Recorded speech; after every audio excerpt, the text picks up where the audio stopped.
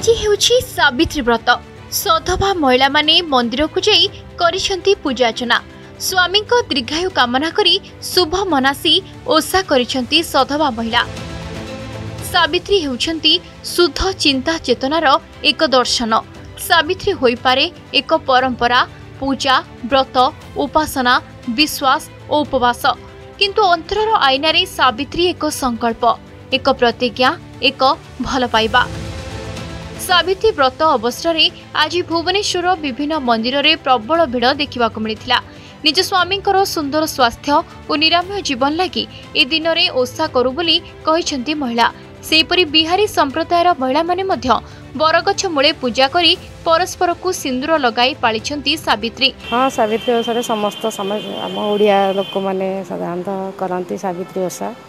ଆଉ ସ୍ୱାମୀର ମଙ୍ଗଳ କାମନା ପାଇଁ ଆଉ ଯେମିତି ସତ୍ୟବାନଙ୍କୁ ଛଡ଼େଇକି ଆଣିଥିଲେ ଯମଦ୍ୱାରୁ ସାବିତ୍ରୀ ସେମିତି ଆ, ଆମର ସ୍ତ୍ରୀ ଲୋକମାନେ ତାକୁ ସେଇ ପରମ୍ପରାକୁ ପାଳିକି ରଖିଛନ୍ତି ଆଉ ଆମେ ତ ଆସୁଛୁ ସବୁ ପୂଜା କରିବା ପାଇଁ ଆଉ।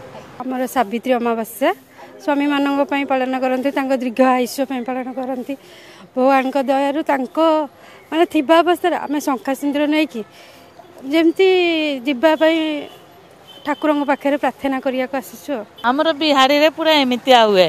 ବରଗଛରେ ପୂଜା ହୁଏ। ଆଉ ସ୍ୱାମୀ ପାଇଁ। ଆଉ ସବୁ ଫଲମୂଲ କରିକି ଆଉ ମାଲପୁଆ ଆଉ ଗୁଲଗୁଲା ପକୱାନ ଗୋଟେ ପିଠା କରାଯାଏ କରିକି ଚଢ଼ାଯାଏ ଠାକୁରକୁ। ଆଉ ଯେଉଁ ବାହାଘର ହୁଏ ମେନ୍ ସିନ୍ଦୁର ସିନ୍ଧୋରାଟା ଆପଣ ଦେଖିଲେ ସେଇଟା ଆସେ ଆଜି ସେଇଟା ବାହାରେ ଆଜି। ଅନ୍ୟପଟେ ହାତରେ ମେହେନ୍ଦି ପାଦରେ ଅଳତା ଗଭାରେ ଗଜରା ପୁଣି ମଥାରେ ସିନ୍ଦୁର। ହିନ୍ଦୁ ପରମ୍ପରା ଅନୁଯାୟୀ ସପ୍ତ ସିଙ୍ଗାର ରୂପେ ସଜେଇ ହୋଇ ସାବିତ୍ରୀ ପାଳିଛନ୍ତି କିନ୍ନର। ମନରେ ଗୁରୁଙ୍କ ଶୁଭ ମନାସି ବରଗଛ ମୂଳେ କିନ୍ନରମାନଙ୍କ ପୂଜାର୍ଚ୍ଚନା ଥିଲା ଖୁବ୍ ସୁନ୍ଦର। ପୂଜା ଥାଳିରେ ରହିଛି ନଡ଼ିଆ ପଣସ ତାଳ କଦଳୀ ଅଙ୍ଗୁର ଓ ଲିଚି ଭଳି ବିଭିନ୍ନ ଫଳମୂଳ। ଧୂପ ଦୀପ ନୈବେଦ୍ୟ ସାଙ୍ଗକୁ ଘଣ୍ଟ ଘଣ୍ଟିରେ ପ୍ରକମ୍ପିତ ପରିବେଶ।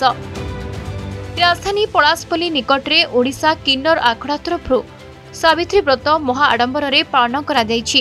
କେବଳ ଗୁରୁ ନୁହନ୍ତି ସମସ୍ତ ପୁରୁଷ ସମାଜ ପାଇଁ ଦୀର୍ଘାୟୁ କାମନା କରିଥିବା କହିଛନ୍ତି କିନ୍ନର। ପ୍ରତ୍ୟେକ ବର୍ଷ ଭଳି ଏ ବର୍ଷ ମଧ୍ୟ କିନ୍ନର ସମୁଦାୟର ଲୋକମାନେ ସମସ୍ତେ ତାଙ୍କ ଗୁରୁମାନଙ୍କ ପାଇଁ ପୂଜା କରୁଛନ୍ତି। ପ୍ରଥମେ ଆମେ ବଟବୃକ୍ଷକୁ ପୂଜା କରିସାରିଲା ପରେ ତାପରେ ଗୁରୁଙ୍କ ପାଇଁ ଆମେ ପୂଜା କରୁ।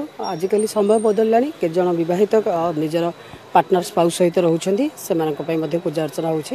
ଗୋଟିଏ କଥା କହିବି ଦୁନିଆରେ ଥିବା ସମସ୍ତ ମାଆମାନଙ୍କର ମଙ୍ଗଳ ହେଉ ସମସ୍ତଙ୍କ ହାତରେ ଶଙ୍ଖା ଆଉ ମୁଣ୍ଡରେ ସିନ୍ଦୁର ଝଟକୁଥାଉ ଆ, ଯେମିତି ପ୍ରଭୁ ଅ, ଶ୍ରୀରାମଙ୍କ ପାଇଁ ହନୁମାନ ନିଜ ଦେହରେ ଅ, ସିନ୍ଦୁର ବୋଳି ନିଜ ସ୍ୱାମୀଙ୍କ ଦୀର୍ଘାୟୁ କାମନା କରିଥିଲେ। ଠିକ୍ ସେମିତି ଆମର ଯେହେତୁ ଆମେ ତ ଆପଣ ଜାଣିଥିବେ କିନ୍ନରମାନେ ତ ଯେହେତୁ ଆମର ପୁରୁଷ ବନ୍ଧୁଙ୍କ ପାଇଁ ହଉ କିମ୍ବା ଯେଉଁମାନଙ୍କ ପୁରୁଷ ବନ୍ଧୁ ସେମାନଙ୍କ ଅଛନ୍ତି ସେମାନଙ୍କ ପୁରୁଷ ବନ୍ଧୁଙ୍କ ପାଇଁ ହଉ କିମ୍ବା ଯେଉଁମାନଙ୍କର ନାହାନ୍ତି ଜଣେ ଗୁରୁମାନଙ୍କ ପାଇଁ ଆମେ ଅ, ସାବିତ୍ରୀ ବ୍ରତ ପାଳି- ପା- ପାଳନ କରିଥାଉ।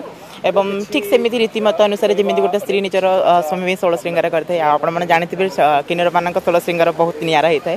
ଆଉ ସେମିତି ସେ ଶୃଙ୍ଗାର କରି ସକାଳୁ ନିଜକୁ ସଜ ବାସ- ବେଶଭୂଷାରେ ଅ, ସଜେଇ ଆମେ ଆସିଥାଉ ମୀରା ମାଙ୍କ ଅ, ଘର ପାଖକୁ ପୂଜା କରିବା ପାଇଁ। ହିନ୍ଦୁ ଧର୍ମରେ ବାର ମାସରେ ତେର ପର୍ବ ପାଳନ ହେଉଥିବା ବେଳେ ସାବିତ୍ରୀ ଓଷା ଅନ୍ୟତମ। ସମସ୍ତ ସଧବା ନାରୀ ସ୍ୱାମୀଙ୍କ ଉଦ୍ଦେଶ୍ୟରେ ଏହି ବ୍ରତ ରଖୁଥିବା ବେଳେ କିନ୍ନରଙ୍କ ପରମ୍ପରା ମଧ୍ୟ ସ୍ୱତନ୍ତ୍ର। ଭୁବନେଶ୍ୱରରୁ କ୍ୟାମେରା ପର୍ସନ ପ୍ରମୋଦ ମହାପାତ୍ରଙ୍କ ସହ କବିତା ସ୍ୱାଇଁଙ୍କ ରିପୋର୍ଟ ଅର୍ଗସ୍ ନ୍ୟୁଜ୍।